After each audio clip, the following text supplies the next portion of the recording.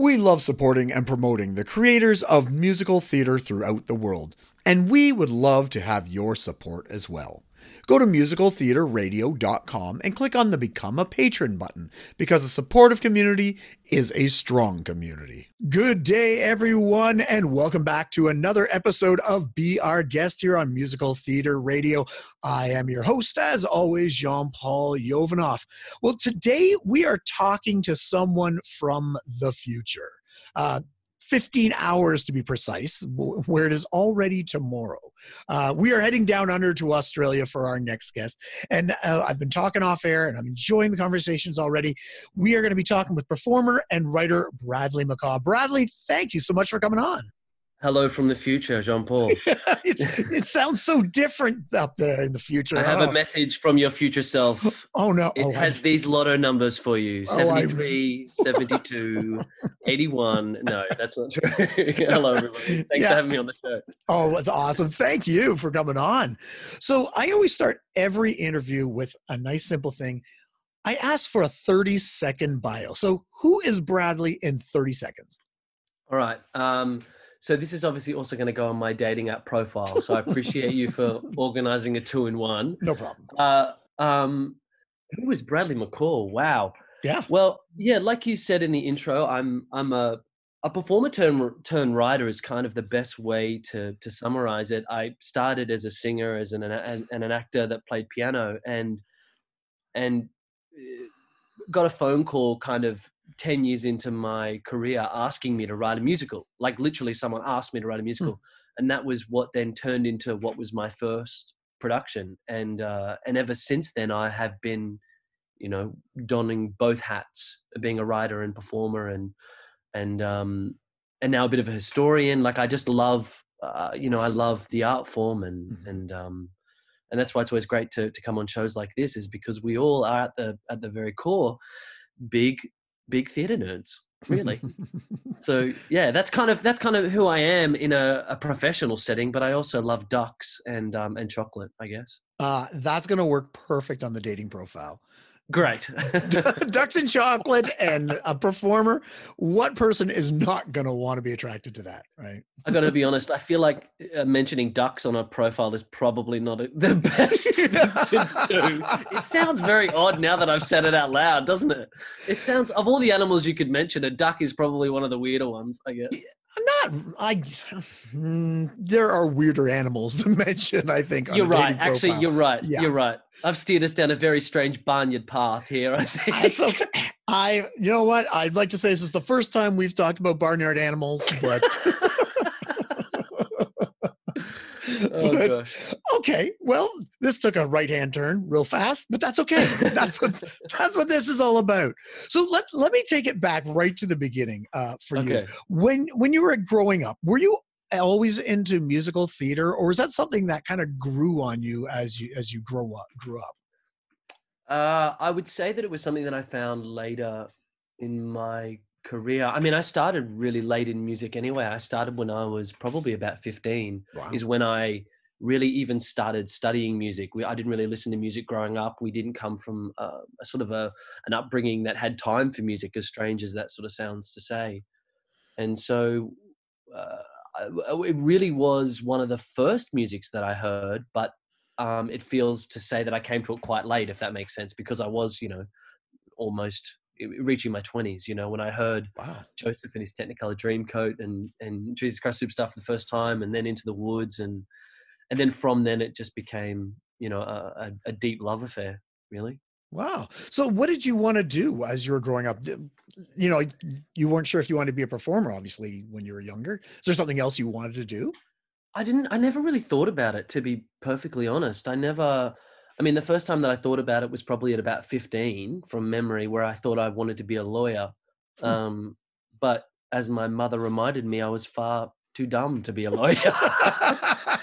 uh, and not that I was too dumb, just at the time I didn't really read much. I wasn't much of a thinking person, you know, and that really came later in life as I started to to want to be a writer. You know, I became ferocious in what I would read and, you know, have a small library now from just collecting and mm-hmm. it's crazy to think that I've come from from a guy that you know just didn't didn't enjoy words or, or music at all to where Yeah. I am now. It's kind of it's amazing. Do you remember the turning point? That that maybe that song or that moment that went, "Hey, I kind of want to do this."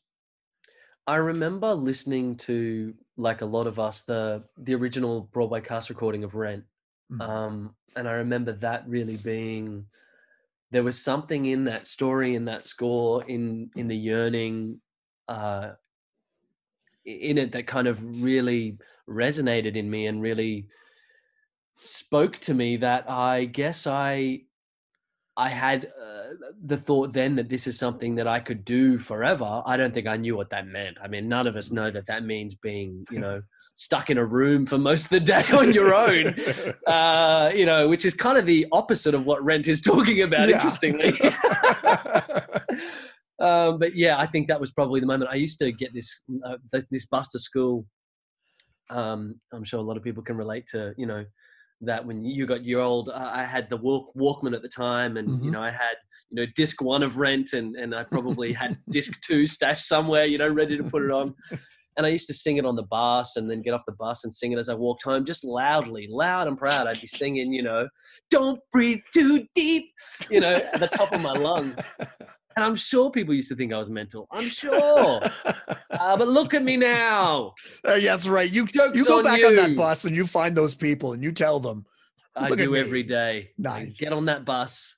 Uh, not by choice, but by uh, legally mandated. Uh, no, no, but it's uh, it's probably rent. To answer your question, Okay. to circle back around, I would say I'd say it was rent. That Oh, yeah. really me off. Rent is that I, I consider Rent one of those gateway musicals, like like Phantom and Hamilton, uh, that you, you draw in this the the regular person and then they explore out from there. It's it's that one that gets you into musical theater. I think it's one of those. Yeah, and I kind of come from. Um, I know one of the three questions that you ask us later is being a listener, and so I'm not going to ruin it. okay. but but but my answer is probably the wrong one. Um, is, is you know is that uh, I kind of don't think that there's for me anything wrong with something kind of being big and appealing. Mhm. Because that, for a lot of us, is how we find things until we stumble into things with more intricacy and we have the time to really understand something that takes a lot more time to really pick apart, you know?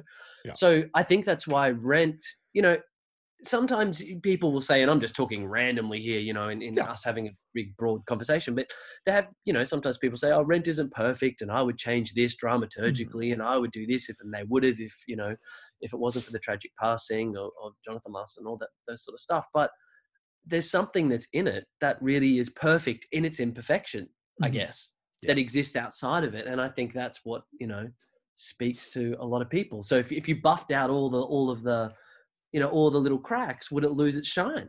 You know, that's something that I really, really feel sometimes. So I think, um, not to steer the conversation in another way, I, I, I think it is one of those shows that really does um, call to us because of something what's deeper in the cracks, you know, Mhm. what's, what's right in there. I always wonder because I know Rent won, uh, I think the Pulitzer at that in Mm. '94 or five or whatever it was. Um, and then now, you know, people are noticing those cracks and things like that. I'm always wondering, is that going to happen to shows like Dear Evan Hansen in Hamilton when you give it 20 years out? Um, I, I'm just curious. Like, I don't know how you're from the future. You would know better than I would. Um, I mean, here in the future, we've already declared Hamilton a complete disaster. nice. um, I did not know. So, so you've only got about another 24 hours to enjoy it. Uh, Okay. I've seen it already, so I'm good. yeah, I mean, that's the hottest take uh, of the day. Um, but that's not true. That's not true. I take it back. Uh, please let me stay in the community, please. Hey, Um, I, I, you're good by me.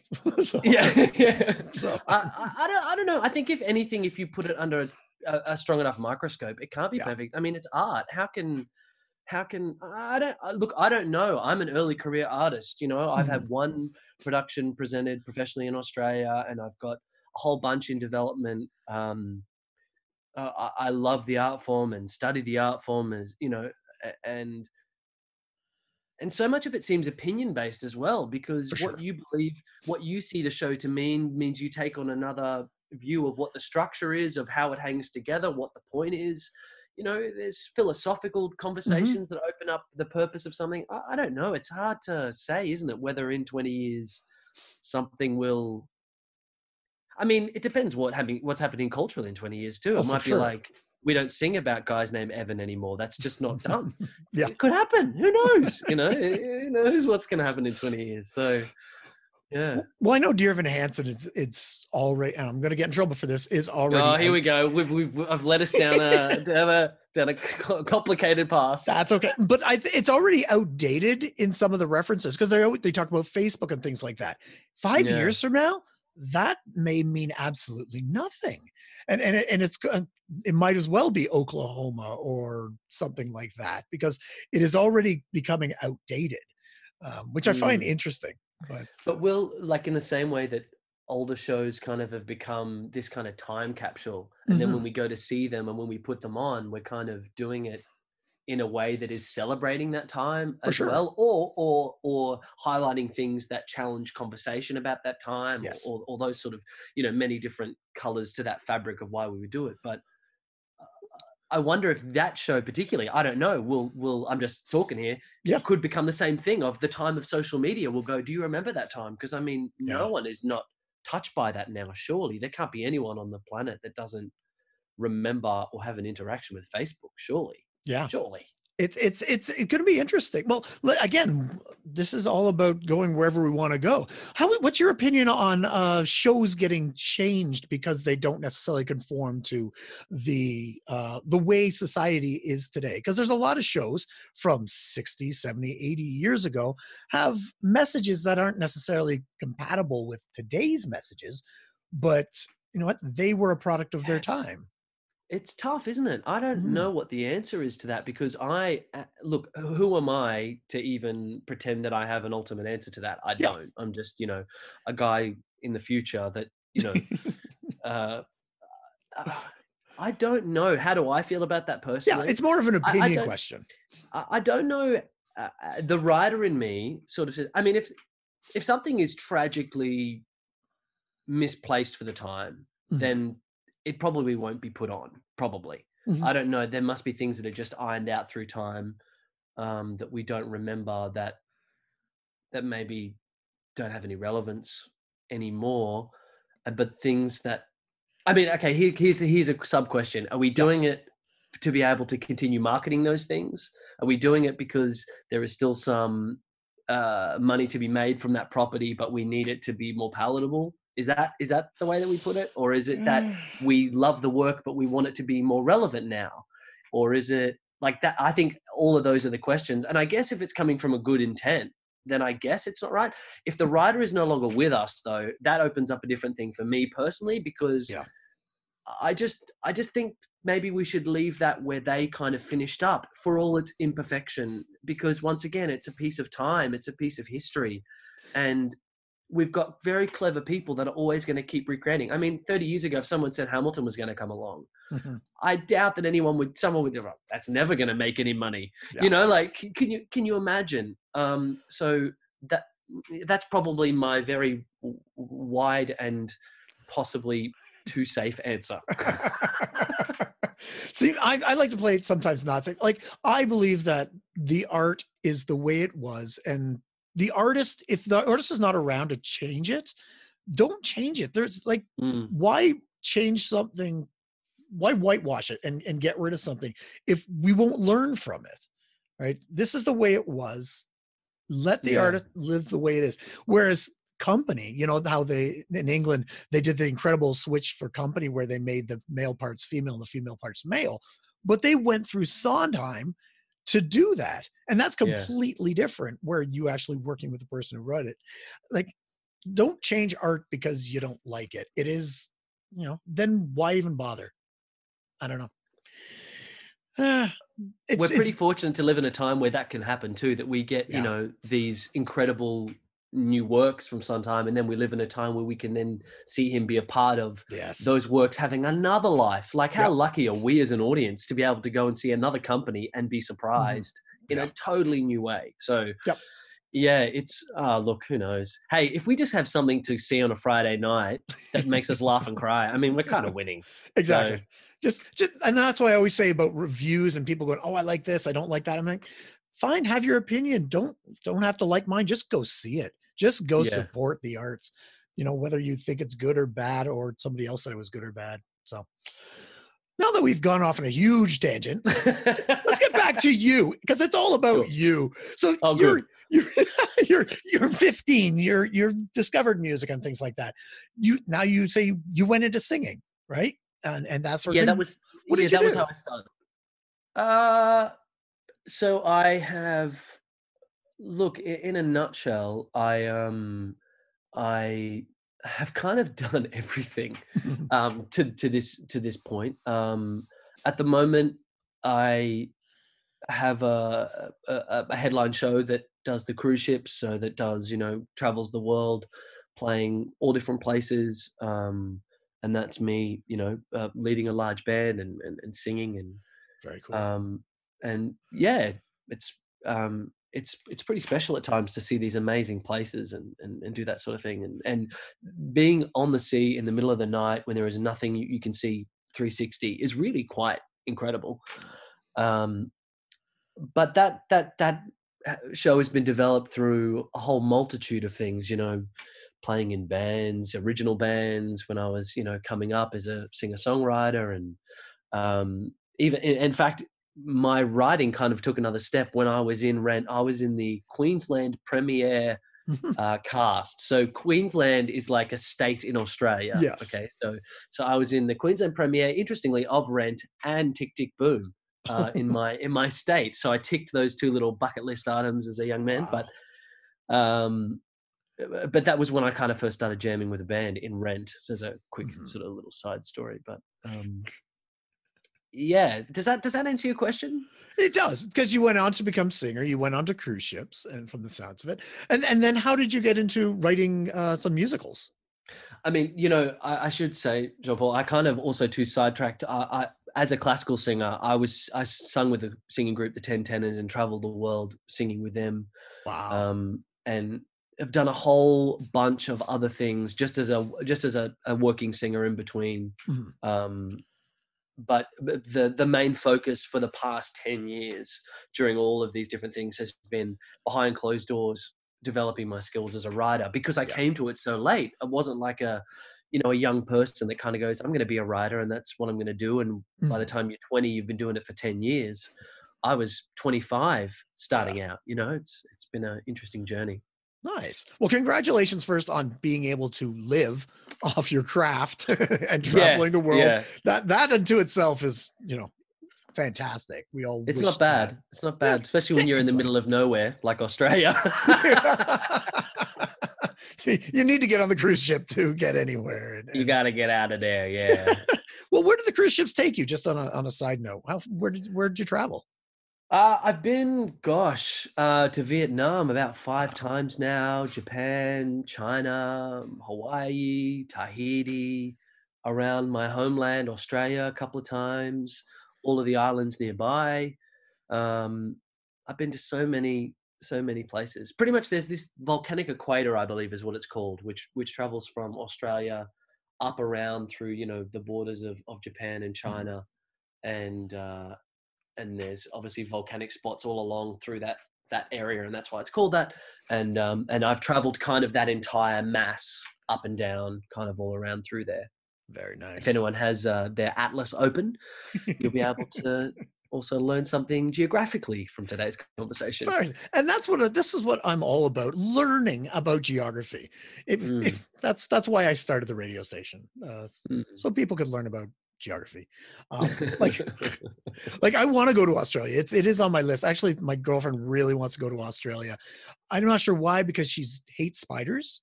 So well they will kill her here like I they know. will sense her fear and find her like there's a show on Netflix all about like the 72 deadliest animals in Australia, and she won't even watch that. I'm like, if you can't watch it, how are we gonna go there?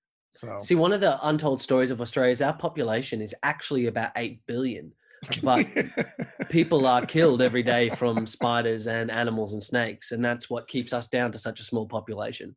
So I'm glad we're learning so much, so much about Australia and geography yeah. here yeah. today. All terrible. I'm going to get a call from like the National Tourism Office or something tomorrow. They'll be like, "What is going on?" I know they're listening. I know they are. yeah, they, they love musical theatre. Actually, have you seen our new? As another little another strange segue. Have you seen our new ad? Um, written no. by Eddie Perfect, composer of Beetlejuice and King Kong and no, um, I haven't um, seen it. And featuring Kylie Minogue. It was written just for the Brits, so I don't. You can Google it uh, if you want to find it. Okay. I think it's called "G'day from Your Mate in Australia," and it's all, it's all. So our tourism board. It's actually a big musical theatre song. So wow. we were joking that they don't like musical theatre, but we, you know, we've put a lot of money into trying to do that. Anyway, that, so you can go and check that out. That's that's probably all I need to say about that. well, you've you've made us all want to go there with your eight billion people stories and your deadly animals. so, okay. So, what was the first show you worked on when you when you started writing? Um, that would be my first musical. That's just been. We just had our Australian premiere um, production just what last year now, which was called. Uh, thank you very much. Yeah, it was. It's incredible. It was cool. It's called Becoming Bill. Cool. And, Tell us um, a little um, bit about it. So, Becoming Bill is uh, semi autobiographical in that, uh, and wait for it, it's about a young man who gets a call asking him to write a musical out of the blue and he bases it on his life and he bases it as all new writers do about on themselves and he bases yeah. it on him and his mum and his girlfriend at the time that's on and off and on and off and on and off and on and off and on and off and on and off and they're they're terribly well uh, made for each other as you can tell and then his brother who won't get off the couch and so when he bases the story on himself and on his life and as he starts to pick apart the threads that were loosely holding them together um, he kind of picks apart himself and and and learns that he's probably not as well kept together as he thinks he is and that if he the show kind of becomes a force of change for him and those around him. Um so it's yeah it's semi biographical and uh it's it's been a labor of love because it took 10 years to get from what was this very early draft that I wrote for a company here in Australia when I was asked to write a musical mm-hmm it it it took a long time as a guy that didn't know how to write a story to convert these songs that he'd written through passion and just from the sheer love of the art form. I just wrote these kind of 10 songs and put them on at this concert. And the end of this concert, we got a standing ovation. Everyone stood up and wow. people were crying. And it's because I'd just written these songs that were about true relationships and about kind of being honest about something. Mm-hmm. And they're all very simple and all quite basic in a lot of ways, you know, in their themes and things like that. It's not very complicated, but it tugs at something underneath. And I think it's because I didn't know what I was doing. Yeah. That it was just really honest. And so it took 10 years to kind of work out how to turn that into a story that didn't lose the essence of those things. And that's been the biggest challenge in not trying to make the show too complicated and, and too big and to let it just speak about this family that's trying to find a way to be able to talk to each other. And that's really what it's about. It's just about all of us trying to be able to communicate, which is really at the heart a really difficult thing to talk about anyway in a show because it's not really about anything mm-hmm. when you talk about what to talk about, you know. Uh, so it's a bit company-ish in that way, you know. It explores those kind of themes about you know having to grow up and, and that sort of thing. But it's um, yeah, it's a it's been really well received and people have really really gotten a lot out of it and and we're talking to some parties around the world now about doing different things. And so great. you know it's it's it's an exciting time to to be ready to take the show hopefully to canada. I i would love for that. I would i would yeah. be one of the first in line if and yeah i would be there and i would promote the hell out of it for you definitely. That'd be the plan. That'd be great. So so what when you're writing the when you were writing that first show what what did you find it difficult to write the songs? Like are you a lyricist first a composer next or a combination of both or which do you find easier? So for this project i wrote uh the the music the lyrics and the book. Okay. Um and which is quite common, I guess, for a first-time writer that yeah. starts out, especially in the middle of nowhere like Australia. Like we're not in the middle of nowhere, but we're so far away, and yes, you know, there's less collaborators and all sorts of things like that. Um, but I so I started the entire project kind of just sitting at the piano and kind of thinking about something and then just letting it pour out and then taking that kind of base piece of you know wood or whatever that this bit of clay and then having to sort of Mhm. shape it into something that was you know nice to look at um so it, to answer your question i was all things but all things kind of bit by bit by bit by bit Yeah. um today i work very differently you know after you know years of developing you know a process at the time Yeah. i didn't have a process i just you know Yeah, what you don't know, you don't know t- not to do or anything like that, right? The first one, exactly you're just going by the seat of your pants and whatever happens, happens. And it's always the second one that's a little bit harder because, like, I did the same thing. My first musical was based on a lot of my own life. So I, Yeah. I could do that. The next one, you've already done your life. Unless you're going to do a sequel or the second half of your life, you got to explore something new. Did you find that uh, a little bit difficult when you moved on to your second show? I think that's yeah. It. Uh, this is when we kind of start to discover, at least dramaturgically, that this is where stakes are really important, right? Mhm. Because something that we think is kind of has a bit of stakes doesn't have stakes for anyone else, you know. And that the dramatic principle of something isn't big enough. And I think to find something then that really resonates to a lot of people in an interesting and new, unique, unique way, I think that's the that is one of the the troubles in the beginning. Um, and yeah, you you have to learn to identify with whoever you're singing about, isn't it? Previously, you had a direct line to that. You're like, yeah, it's me, or it's my Mhm. girlfriend, or it's my boyfriend, or it's my mum, or my brother, or whatever. Yeah. But you're right. When we start our second one, it's like, who is Barry, and why does he own a flower shop in Missouri? You know, Exactly. and and and how did he get there? Why did he buy this with his dad's insurance money over everything else? You know, and why does a thousand people want to hear about Barry and his flower shop? Like that becomes the problem, isn't it? Um, and it's a lot more cerebral, I think, too, at that Yeah. point. Which is then you got to get out of that as well, and just kind of try and, you know, Yeah. have a balance. now I am curious about Barry in the flower shop. I mean, that's what a good story does, doesn't it? and that's that. That's really interesting because all we did was it was it was like three or four things, and if you get simple key details, Yeah. you want to know more. I didn't even. I mean, I did. There, there is mystery in why he used his dad's insurance money. Like, did he kill him? Is that is Yeah. that what you thought? Is that what is that what Uh, you thought? I don't know. I'm intrigued. I'm not sure anymore. That says a lot about you, Jean Paul. That you you Yeah. leapt to that conclusion. You know, Yes. Barry is just an honest man. You know, No. he's not. Then I can't I'm relate. Lost in my own reverie. Excuse Oh, me. No worries. So, uh, so you've you've got becoming Bill. Was that actually the plot of your second show? Of Barry and his show. no, no, it's the plot of my new one. Uh, yeah. Um, uh, writers everywhere are scrambling to copyright that idea. Uh, no, the plot of the second one that I started working on, I kind of started working on a whole bunch of things while I was developing Becoming Bill because uh, I just needed to kind of get deeper into understanding story. I, Yeah. I- because the show couldn't be solved by just expanding the stakes. What had to be expanded was the the relationships and what they were discussing and how they were discussing to keep the kind of drama moving along, but in a really simple way. And I just had no idea how to do that because I didn't even know that's what I needed to do Yeah.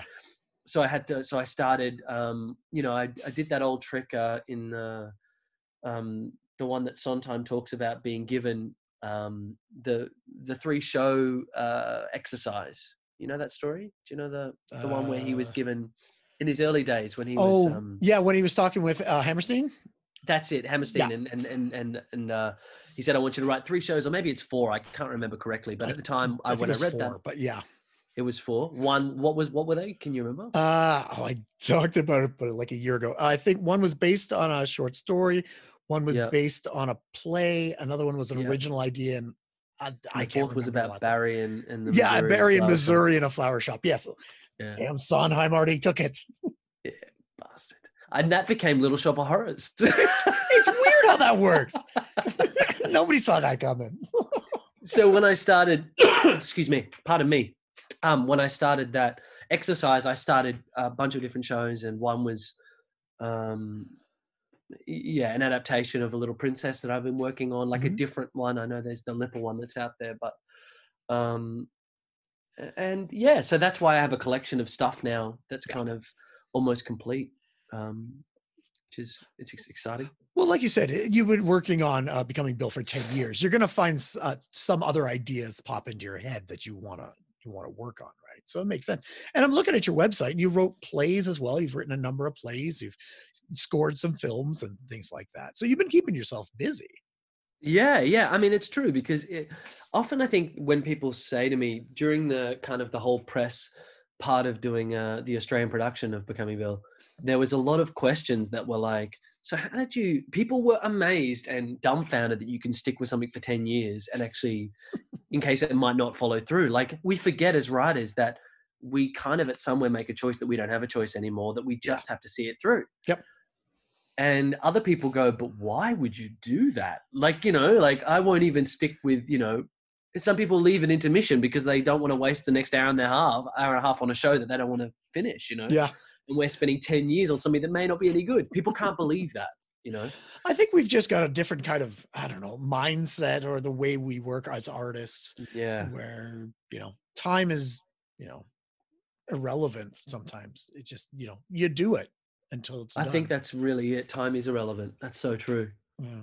So And I, and I guess you don't just spend all your time on that. I think is where I was going to. You don't Yeah. just spend all your time on that one show. You develop other things, like you said, other plays, um, other short film scores, other other projects that fuel you you you creatively and and and and because it's also a hobby, I guess. So you kind of just Mhm. you know fill your cup, really. yeah. Yeah. No, that's fantastic. You've done all this stuff, and so going back to becoming Bill. So it, it got on in in Australia, and and it- Mhm. where else has it been? Has it gone anywhere else?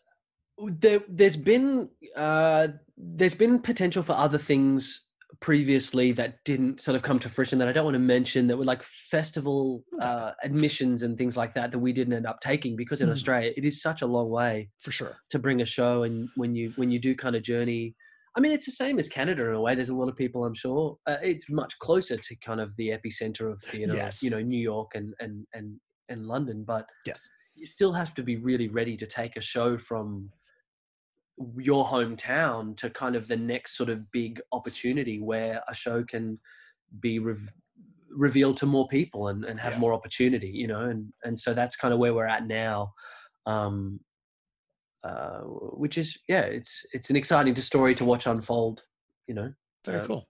being in it Yeah, well, no, that's you know what you've you've done something that a lot of people are still trying to do. You've you've got your show mounted and and, Mm. and noticed, and and there are many people out there who haven't even got to that point. So kudos to you. And and Yeah, it's so true, and it's it's important to remember that, isn't it? Like that we can all. um It's a very long and kind of strange road, and it Yeah. seems to take very different passes for for all of our stories. It's really it's really Yeah. amazing. because sometimes we feel, you know, I, I know I have, I've I've only written a couple of shows, uh, you know, and I've got a few in the pipeline, and I think, oh, I've done nothing. But then you got to remember, there are so many people who've not done even that. You know, they haven't even been able to get their show on, and you know, they're still struggling. So I I got to remember sometimes that I've been lucky and blessed that I have had my show produced and, and put up and, and that sort And of thing. And with what we're doing, particularly in musical theatre, it doesn't take just, you know, if you were a painter that was going to Mhm. develop the craft of painting, Yes. you would paint and you would do that the first time and then the second time and then the third time and the fourth time fifth time and you would do that sequentially until you built up such an arsenal of skills that you Yep. would be able to paint a painting really well but for us that first painting which is a musical requires obviously about 20 songs a whole bunch of Yeah. understanding all different art forms not Yeah. just one now i'm not comparing painting to us and saying it's a competition i'm not van gogh was really clever I'm not saying anything. Pollock's a genius. That's fine. Yeah. But all I'm saying is that too, we have to remember is that one painting for us takes a long time. it's so true. And then to get it on Yeah. stage is an even longer thing. So Yeah. you're right. It- This journey is, I mean, first of all, it's madness. And second of I all, know. What are we thinking? madness. So, I mean, but we love it. And, you know, other people do too. Yeah. So we're very lucky to be a part of the tradition, I think. I, I believe so too. So down there, you're you you live in Australia. What part of Australia are you in? I'm in Queensland. Uh, Okay. So Queensland is um, the the sunny state. It's the place that has incredible weather. We have incredi- incredible beaches. Um, we have lots of incredible spiders, uh, sharks, snakes. We have all sorts of things. Um, but yeah, we've got a. It's we're a kind of a smaller town kind of environment in Queensland because we're we're one of the smaller cities in in the country Mhm. um, on the on the eastern sort of side How many people and are in it's a city? beautiful place. Oh gosh, I you know I looked this up the other day. I want to say four four million, but I, I don't know if I'm remembering correctly. It's um, I'd have to Google it. Okay, that's not that small. Four million's a pretty good number Yeah, it's definitely a bigger city, but it doesn't feel like when you go to Sydney or Melbourne, which are also you know Yeah. Australian cities, and they're more of our major cities. You definitely Yeah. you you become aware that uh, it's just the it's just you know it's it's like different places Yeah. anywhere. Everyone has a a different personality, a different way of doing things, For and sure. here we definitely have a, a slight laziness about us. Maybe laziness isn't the right word. We have a slight Laid back. slower kind of. I mean, you know, what's the classic Australian thing? No worries. This is what we say, and this this um, amazes people everywhere else around the world because if you're actually saying to someone, "No worries," it kind of implies that there is a worry. Otherwise, you wouldn't need to say "no worries." It's. So it's kind of like we're relaxed, but kind of super uptight about being relaxed. I don't understand. It's it's like, yeah, that's cool, no worries. It's like, well, really? Um, so that's kind of what Queensland's all about in a Okay. nutshell, I guess. And what's what's the uh, musical scene look like there? The musical theater scene is is there a big one or is there you and Uh, well, there's a no, we have a we have a really really um, great tradition in Australia, like that goes um, way back. Um, and is really storied and has uh, so many incredible writers that have you know lifted and, and done their part to really try and grow our understanding of how to write here i mean you know we're a long way away and that's been i think the biggest challenge for australia is to kind of you know no one sort of you know uh you know had a hit on broadway and go you know what? I'm going to go to australia and write a show. You know it's we don't have kind of anyone that's coming over that's bringing all the the the, the way to do things and helping us to learn in that. So we've had to kind of develop our own thing there. So but um we have we kind of have uh, so if you if if you're listening and you're familiar with kind of the american touring market if you Mhm. just think of that Yeah. that is kind of our main market here. If you think of it that's probably the best way. We've got major cities and we've got shows that tour to each major city and that's kind of how it works. No one goes to a place necessarily or a city just to see a collection of shows. The shows go to those cities and try to tap into those that that audience is there. Um that makes and we have obviously we obviously have big and so the bigger number cities you know like melbourne at the moment has harry potter and that's the australian harry potter.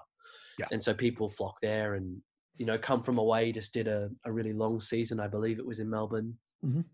Yeah. um and now it's going to sydney so yeah it's um we love musicals here we love them but we we have excuse me um we have a uh, a different framework i guess some of the people that you you um that come out of Australia, you know, the Beetlejuices and um the King Kongs. Any other any other shows you've seen that come out of Australia that that you've been impressed with?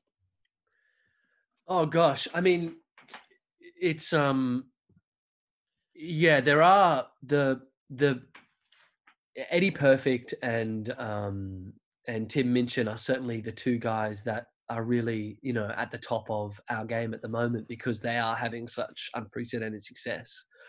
Um, and that is probably like I was alluding to before, built upon you know lots of other works that may not have been able to get out of Australia that kind of developed here. I Mhm. mean, a couple that just come to mind that were hits over there is obviously the Boy from Oz, which was the. Yes. Sorry, I might need to stop and grab a drink of water just to stop coughing problem. and all of your listeners. But I'll see. Um, Boy from Oz, written by you know, I think it was Nick Enright that did the original one that was then redeveloped um, for the Broadway one that was Yeah. with someone you probably heard of, Hugh Jackman. Yeah, I, th- I think I've heard of him. Maybe. so Bran Nue Dae um, uh, is one of the shows that comes to mind um, written by jimmy chu jimmy chi um, i don't know how to pronounce his last name correctly actually so apologies jimmy for that i've never really said his name Outland, and the music and lyrics by Kuckles as well these are uh, indigenous australians and this show was written in, in 1990 and um, there's a really it's a tremendous film. There's recordings. There's been a film, uh, and that was kind of a landmark piece. Uh, the Sapphires is another one that was turned into the film. That was created over in Australia here. Right. Um, yeah, so writers like Craig Christie, who I know has been on the show, Yep, Matthew Dr. Robinson. Craig. There's a lot of there's a lot of you know uh, really passionate people. Tyran Parke, uh, Neil Gooding's a producer that's Australian. Yep. It's been there's so many people, you know. And and I wish we could get more of, of these shows over here because again, you're naming stuff I've never heard of, and I would love to hear them. And and, and that was my mean- goal starting with the radio station too, is to introduce the the rest of the world to all of these shows that you just might not know yet. I mean, yeah, and I haven't even mentioned like Nick Enright, who's kind of, you know, someone that was really a big part of developing a lot of Mm. people's understanding of the dramatic principles. And that's been one of the big things I think for Australia over the last 50 years in kind of getting to then be able to create things that compete in the global market, you know. Mhm. Yeah, we're so far away from this is just my opinion. This is Yeah. something that I've kind of been thinking a lot about, but we've been so far away from the source material of American theater, like just the dramatic principles of American theater, of the American drama, which was a big had played a big part in obviously how musicals were created. But then also of European music, of American folk music, we also don't have that tradition.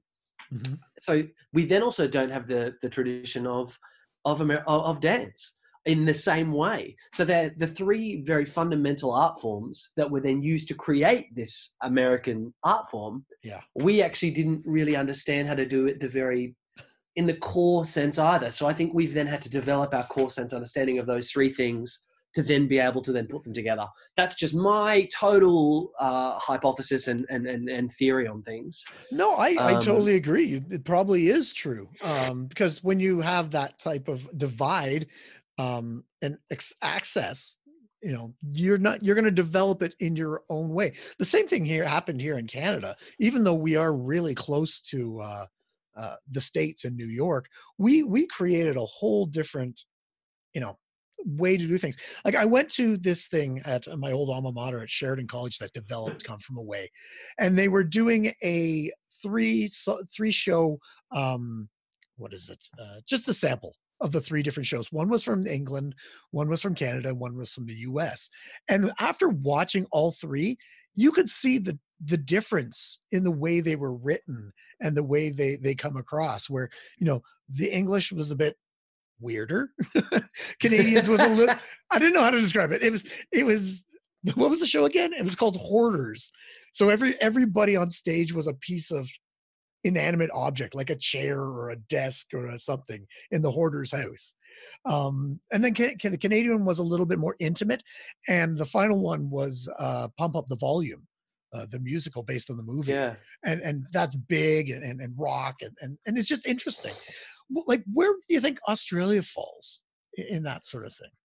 This is a really really interesting and fun thing to to to talk about. It's something that i am so interested in so thanks for asking that question and even just sort of taking the conversation here because um so this podcast that i've been working on uh it's loosely called making musicals at the moment right so Mhm. i went to new york uh last year or the year before and i spent 10 days unplanned Yeah. and so what I did was I had interviews with all these different people and I tried to understand how to make a great musical.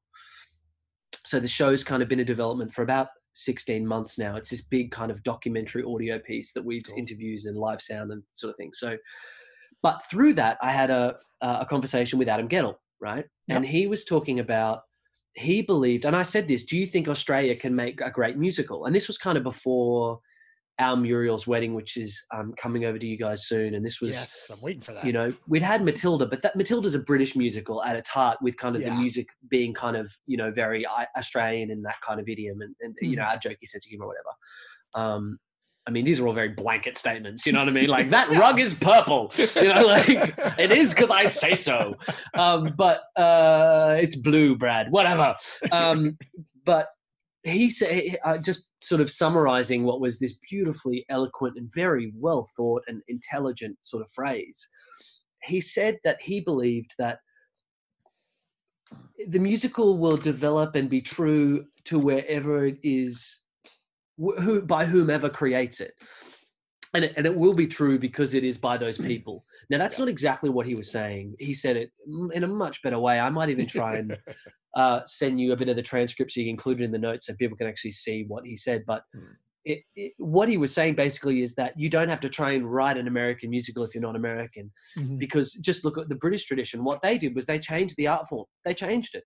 Yeah. By creating the spect, you know, these these these musicals that had spectacle and were big and all those sort of things. So I, he was saying that if you're true to kind of where you're from and your origins and your people and and and what it is you feel you have to say, and then if you take those principles and you condense the form through those principles metaphor you know uh, symbolism all these things ritual all the things that we do on stage by doing that you will create something unique that will then speak through the medium of musical theater and i mean that's a really kind of wanky way i've just said of Yeah. saying you'll make a good musical Yeah.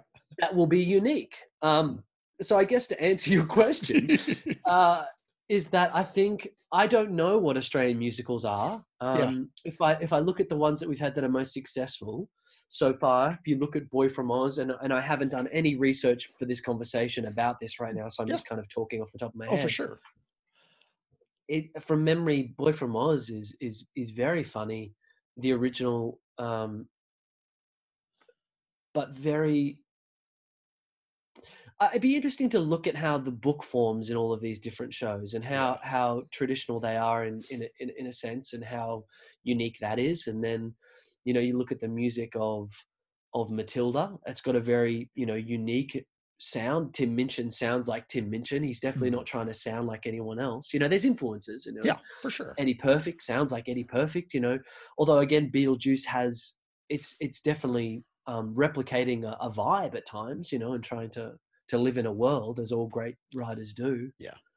Um, people always talk about the Australian sense of humor, so I guess that's something you know. Even you know, in talking to me today, we love to laugh. We love to make silly sure. jokes. We Yeah. we love to kind of hang ourselves out on the clothesline and say, "Look how foolish I am."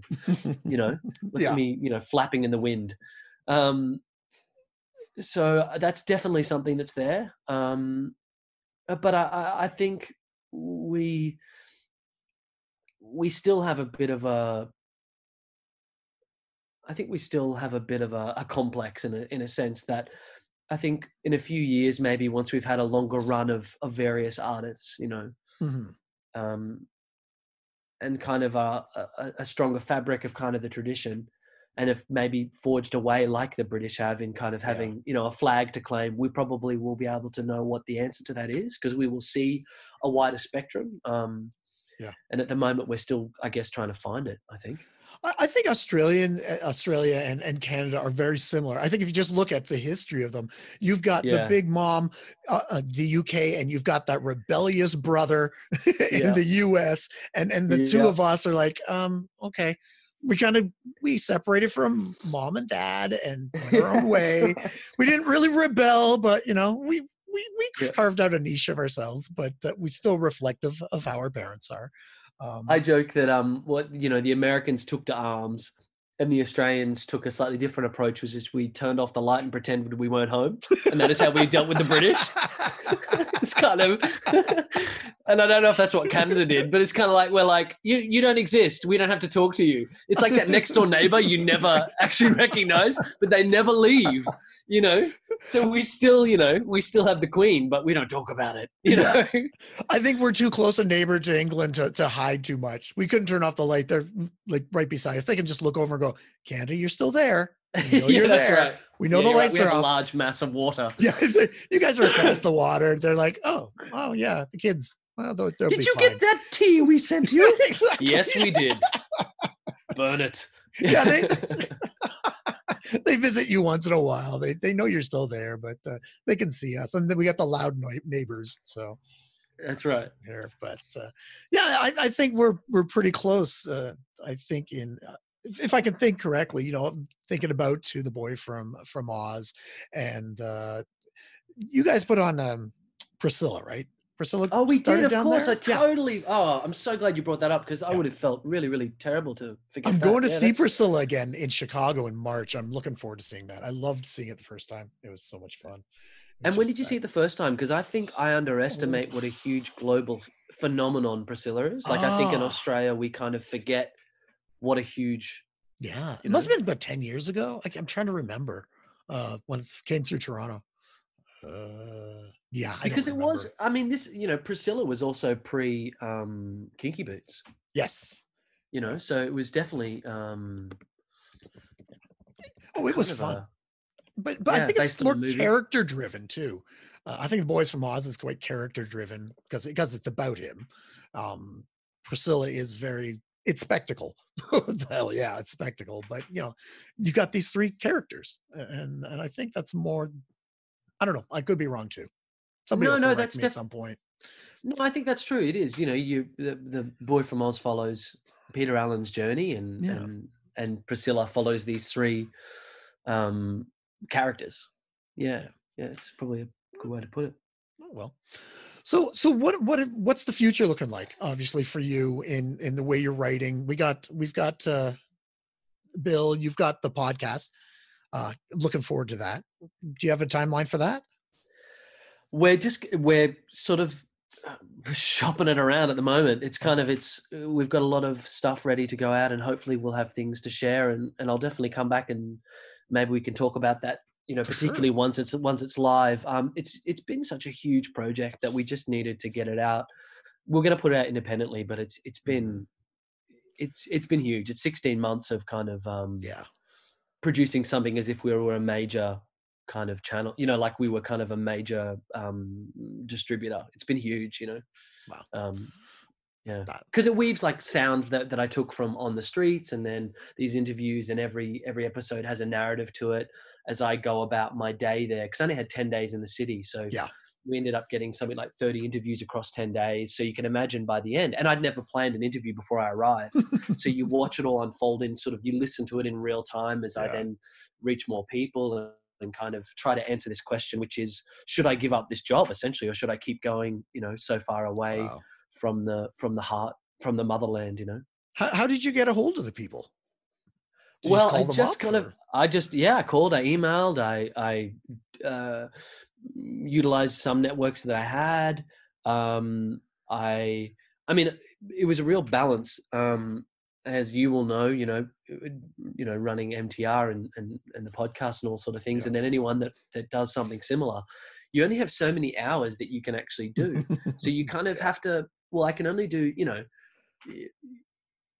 you can only memorize so much and then you can only reach out to so many people because you then have that interview so you have to be ready for that interview and then Yeah. after that so in the beginning i just kind of did a blanket email to to to a lot of people and then narrowed it down and then followed up with some let some go um and that was part of the the uniqueness of of of what I feel the show is is because it is we ended up with the people that really wanted to talk to us and everyone has something really interesting to talk about so some people we we uh, some unique ones we ended up speaking to um, some teachers from Steinhardt and from NYU and they all had really interesting perspectives to talk about specific parts of um, of of training and about New York and about you know the development of the craft. We Mhm. we spoke to some really prominent people from different award-winning musicals, some different Tony-winning shows.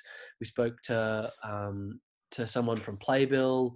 We spoke just a whole bunch of di- people that we were able to secure from some uh, marketing agencies, um, to new writers, to established ones. It was um, to to to to people on the street. It was kind of, you know, I even interviewed um, the the naked cowboy. You know, the naked cowboy. yeah So I went up to the Naked Cowboy. For anyone that doesn't know, in Times Square, um, I arrived and and um, so this one there's this one episode that's about it, I don't know what it's called at the moment because we haven't completely you know sent it into the can, but yeah um, it's about the subway, and it's about mm, how so much happens on the subway and me traveling and on one particular time when I was traveling through, this band was busking in the middle of. I mean, if you've been to the city, you know that there is so much art even on the subway. oh yeah for sure And one of the bigger questions in the piece is about what does the city do to create this art and how much of the city is responsible for it by the sheer engine of the city. And that's why, you know, when so many of us go to the city, we have this kind of experience, you know, we have this, I'm in New York. Um, and so part of one of the questions, there was many questions that I tried to sort of ask and tried to let these people that I talked to answer was, is can you recreate this anywhere else? Or do you need to come here to be a part of this? Is that just one of the simple things we all need to accept at some point? So when I was kind of on this train and I heard this band busking, these two guys playing uh, guitar and playing guitar and drums, I kind of listened to it, and, and in the podcast, you hear the doors open and you hear the sound waft through as I'm talking to someone on the train mm-hmm. and uh, on the subway. Sorry, train's very Australian. Um, and and then so then the doors close and you hear me uh, in the in the in the live audio, you know, say, "Oh man, that's grooving," and he goes, "Yeah, yeah, that's cool." And so then the, the the subway pulls away to the next stop, and then I go, "You know what? I think I'm going to get off and go back and talk to him." And so I get off and I'm stumbling, and I'd only been in New York for like a day. I'd only been there once before. I have no idea where I'm going. Yeah. My phone is recording all my audio, so I'm not even really using any Google Map. And because I've got an Australian SIM, I don't even want to use it because it cost me like a million dollars. Yeah. And I'm already doing this project on no money anyway, you know. So I get up, I'm lost trying to find the right train to go back a station. I think I end up going too far, end up coming back. I end up finally tracking these guys down. I walk up as they're playing the song and it's like you know oh hey guys you know i'm this guy from australia. I'm doing this podcast about the city. Do you want to talk to me? Yeah man. Yeah sure sure sure. And so they tell me this story about how you know one of the guys i believe from memory was from mexico and he traveled to the city just to, to make music and talked about the energy of the city and what he loved about it. And and um and it was really inspiring because you know they were living kind of their dream but the, the dream that they were living was maybe not the one that we would we would kind of accept to be living the dream mm-hmm. you know? And it's always great to hear someone talk about that. It's the same thing we were talking about before about just even completing a draft is kind of a success when we lose that you know? Yeah. And so when i talked to the naked cowboy i kind of it was the same thing. I wanted to know who this guy was you know this guy that stands in times square he's got you know for anyone that doesn't know he's got this pair of sparkly white underpants he's very toned very fit very tall, um, got a cowboy hat, and he sits there playing this this guitar and say, "I'm the naked cowboy, making a reef all year." That's a terrible American accent. I mean, no uh, insult to anyone. But... I just lost some listeners, but I'll, I'll deal with it. yeah, that's right. Yeah, and uh, yeah, he he pretty much just said he spoke to me for a couple of minutes, and and uh, I mean, to be honest, I don't think he kind of really answered any major questions that are going to really help any writers struggling away in their bedrooms. But he was a great chat, you know.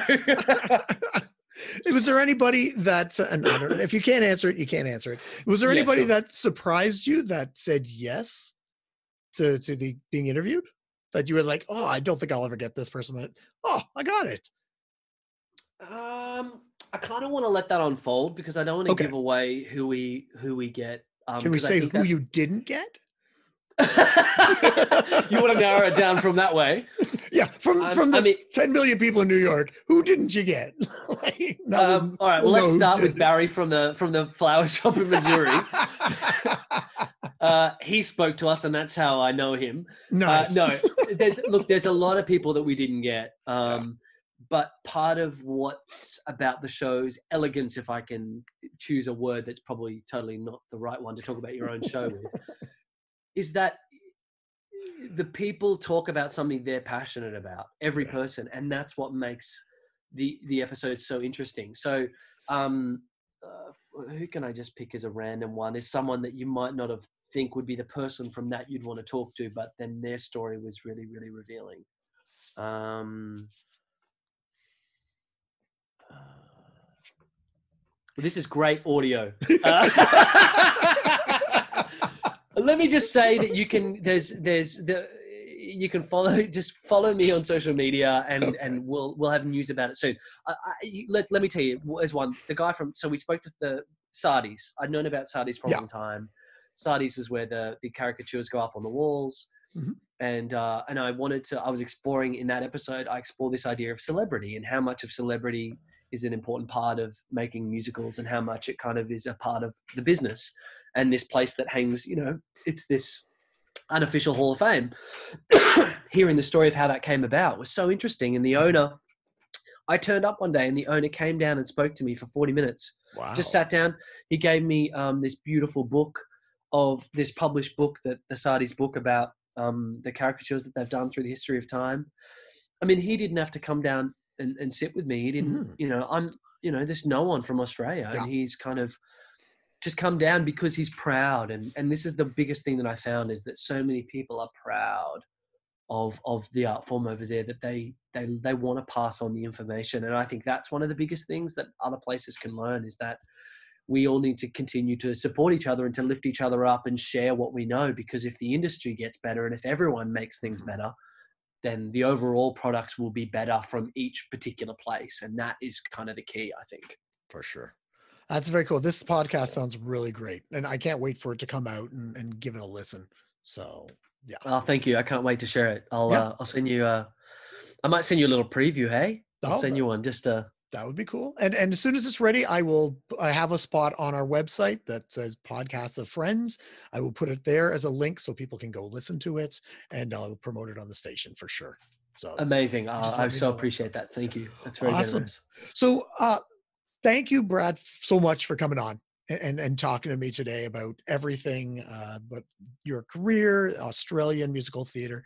But before I go, and you already know this because you've listened to previous podcasts, I Yeah, asked yeah, three you. questions. yeah okay Are you ready for the three questions?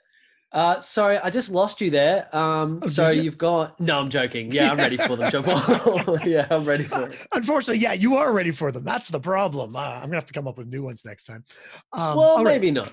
Ah, we'll see if you're ready. So, three right. questions I always ask. There's no right or wrong answer, but there is a wrong answer. You probably know what it is already. So Yeah. now I'm curious whether you'll give me the right answer for that. All right. So, question number one Sondheim or Webber? So, as a quick backstory, when I was uh, in high school, we had to do an opinion piece. Mhm. And the opinion piece had to be something well thought out, it had to be articulate, it had to be something that dealt with a big issue in society, right? This is Yep. for English. And so I chose to write a, a piece that was uh, eloquently called Sondheim versus Andrew Lloyd Webber, who is better. you did. Swear not. hand to God. Hand to God. And to be honest, my English teacher probably didn't know who, who either of those people were. and beyond that, it also wasn't very articulate because at the time, my whole argument, and I swear to God, I find, I, I've got this saved Oh. somewhere. It's so embarrassing. Was was Sondheim is cleverer, so he is betterer, or something like that. Like it was so stupid. It was so stupid. But now I bring this up because I my my answer to this question is Andrew Lloyd Webber. Okay, Mhm. this is my answer, Yep. and this is be, this is because, and it's possibly wrong. It was the first. Uh, he, he is the one that got me into musical theater. I listened to his records before anybody else, and like I said to you earlier, is that I, I don't think there's anything wrong with kind of something being less. Uh, something can be refined but still palatable to a larger larger group of people for lack of a better word a lot of Yep. people love sondheim i'm not saying it doesn't appeal but eh, writing something that has a more of a mass appeal you can still succeed in that to the same relevance as writing something that's really really really refined and like a beautiful piece of diamond you know what i mean Yep.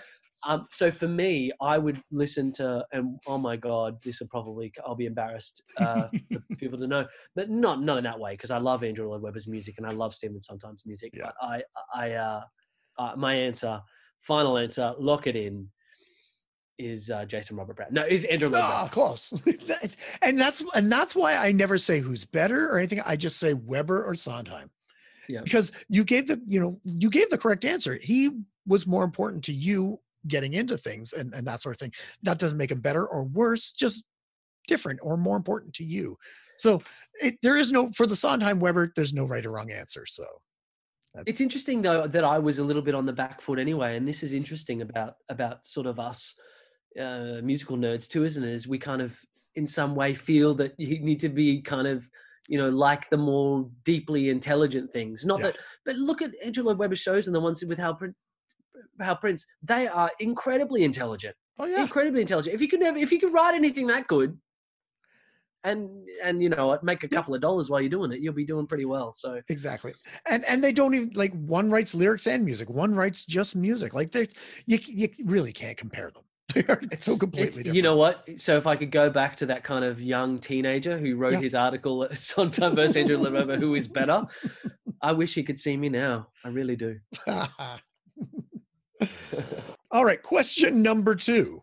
hmm What is the one thing from the future that is going to surprise the rest of us that you've oh, you switched them up. You Oh. switched up the questions, Jean Paul. Oh yeah, Okay. Oh, he's thinking on his feet. Um, what is the one thing that's going to surprise you from the future? yeah. Since you are from the future, what's going to Um, happen well, in I guess- 15 hours? Because that's how far. Well, what's going to surprise you is that I knew the three questions that you would usually ask to surprise people. So that's Yeah. going to surprise you in 15 hours when you talk Wow. to me for this podcast. It's true. Uh, but what's going to surprise you is that I'm still going to answer what you usually ask as your second question because I have a ridiculously good answer. Wait, you what? normally ask. Wait, what you is normally my? ask Yeah, what is it? I don't remember. from from what from from well what you, I've heard you ask a, a couple of people at least yeah. is what is the most embarrassing thing or good thing that's happened to you on stage? Is that Oh? I, I I forgot. I see. What I okay. Just take it back. I I ch- used to do five questions. I've trimmed it down to three, and then Okay, what I do I've is only heard the three ones. Okay. Yeah.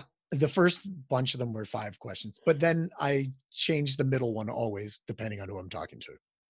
Okay. Okay. Okay. All right. so- well, What is Well, the most embarrassing thing that's happened to you on stage, or weirdest? Well, I was uh, on a cruise ship doing a show in one of the big theaters, and I was playing the intro to Hey Jude, Mhm. and uh, and um, I felt some sort of black fabric hit me in the face, and um, and so I looked up, and it was kind of this kind of synthetic kind of thing, and I picked it up and I turned it to the audience, and it was a black pair of underpants. And what's amazing is obviously the clientele on these uh, large naval vessels are not always maybe the younger ideal. Uh, I wouldn't say ideal, but that they look they're generally older people. yes. And and so when I said to the audience, who threw these in the middle of a show with at least a thousand people, a lady's voice up the back said, "I did." And I said, what? "She was right up the back." Well, she she'd run down to the front, and then she'd Oh, obviously okay. run to the back of the theater while I was sort of doing the interlude thing. Yeah. And she said, "I did. My name's Maureen." I said, "Maureen, why would you throw these underpants?" And she said, "I've never done anything like this before. I'm 82 years old. 82 years old." And so I sort of said, "Oh, well, that's really nice." And this is hundred percent true story. I saw her after the show. I went up. She was so proud because I think she'd never done anything so crazy. And it was a Yeah. big joke because I used to do this bit earlier in the show. There's this big sort of comedy bit where I joke about everyone jumping their feet and ripping their clothes off, and it's it's really silly because obviously Yeah. every obviously people can't even get to their feet on the cruise ships because they are sort of elderly, so they find that funny. Um, and so later, she when she was telling me about it, she was lovely. She let me keep the underpants, which was nice. Did you Um, frame them? I'm wearing them now. Nice. No, I'm not. Obviously not. no. not so nice. Don't. That's not very nice to the audience. They just pictured you in it. And they were excited. And now, now on your dating profile, you've just lost people. You might as well Uh, just we've throw the ducks out the window. so, oh gosh. Well, thanks for indulging me. I was ready to crack that one out. That was the one bit of prep I did. I was ready to tell that story. well, I'm glad. So you you're getting three and a half questions, four questions. So you're you're special. Perfect. Awesome. And the final question, the most important question, you probably already know what it is. Audience members eating food in the theater, yes or no? Oh gosh, I don't know how to answer this one, Jean Paul. Um, look, I enjoy taking food into the movies. Mhm. I don't take food into the theater, but I do like to take a beverage. I do like to take a beer or something like that. Okay. Um, so I'm oh gosh, I'm gonna say uh, drinks but no food. Am I, I would- allowed to say that? you can say whatever you want. Whether it's Okay, right or okay. wrong, it's a whole different story. so What's your argument here? No. I I always no? I always say no food or drink. Now the reasoning is a I hate it because it's noisy. Food's the worst. If I'm on stage, I don't want to hear it. I want to hear people drinking. But the second reason is people leave their garbage all over the floor. Like you will the lights will come up and you'll see cups and bags and just garbage everywhere. And it just makes me angry. Yeah, I don't think about that.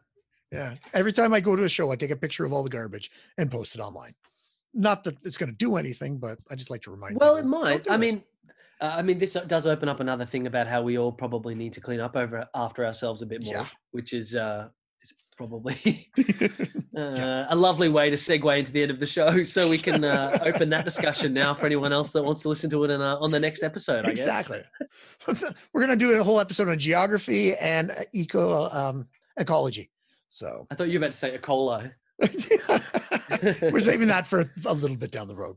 Um, but uh, so yeah, I, I just think no food or drink in the theater, but uh, it's going. yeah, I respect that. I respect that. I mean, I'm only trying to keep it there because I enjoy, like I said, a, Yeah. a beer or a wine or something. So, but it, it's you're right. You're right. I can't argue with your your principles are true. I Yeah. can't argue with you. And you're probably used to people drinking or, or partaking in something, being on the cruise ship in front of all these people. Now, is it is it cocktail seating for you, or is it theater seating? Uh, it depends. It's it's the smaller ones definitely are more of like a cabaret kind of venue. Like Mhm. so, if for example, uh, look, people probably won't be familiar with all the different cruise lines, but so for example, I make this joke that our agency, my agent, would you know he'll have me playing anywhere he can get me. So if he could get me a gig on a on a little dinghy in Vietnam, I would be there playing the show, right? Yeah. So some of the venues are, are quite small, but it's still the headline space. And then sometimes you've got thousand seater kind of uh, traditional theaters. So Yeah. you've got to be ready for all kind of different different things. And you're right, there are some people that are often quite intoxic- intoxicated, and then you've got some people that are sipping while you're talking, and you, you've got all. It's a great uh, it's a great training ground. You know, it's it's very old school, which I love. Because yeah, that's what I love about theater. It's it's live. Anything can happen anywhere. You can get panties thrown at you, like whatever happens. Like I'm waiting for the day that happens to me. I just wish. Oh well. Do you? Do you really? I do. It would be awesome. and You'd have an incredible story. Like It, it is. It actually takes up. So it, I, I do. Yeah, it's a it's a great bit that I have in my pocket. It's like a five minute you know bit that I can go to. It's a great story. You're right. awesome. You answered all three questions, three and a half, four questions. I, I'm going to say you got at least three and a half out of four. Okay, You did great. good. Uh, so Okay, yeah, great. that's a that's a passing grade. You know, probably Does a that little. mean you actually publish the episode? If you don't get over the the correct amount, you just don't publish the show. Well, only only if you can send me that Sondheim versus Webber essay that you wrote, because I'd love to share that with everybody as well. Oh God! Oh God! I can't believe I told you that story. and now you have told everyone. So yeah, right. It's out there forever. Hey, when when Andrew and Stephen are listening, they'll they'll they'll compliment you. They'll they'll let yeah, I guess so. Yeah. Well, thank you again so much, Brad, for coming on and, and talking to us and telling us about everything. And um, you'll definitely let us know when the podcast comes because we'll let everybody else know as well. Yeah, it's been a real pleasure. Thanks for having me on to to for all the wide things we talked about. I really enjoyed it, and I, I hope you know people enjoyed it too. It was it was a lot of fun. And if they didn't, it's too late now. They've listened. So That's right. That's right. Oh, well, Jokes on you. Exactly. All right, everybody. That was uh, Brad McCaw here on Musical Theater Radio's Be Our Guest. Come back next week when we'll have a new guest or guest talking about their life, love, and passion of musical theater. I am your host, as always, Jean Paul Jovanov, and I'll see you when I see you.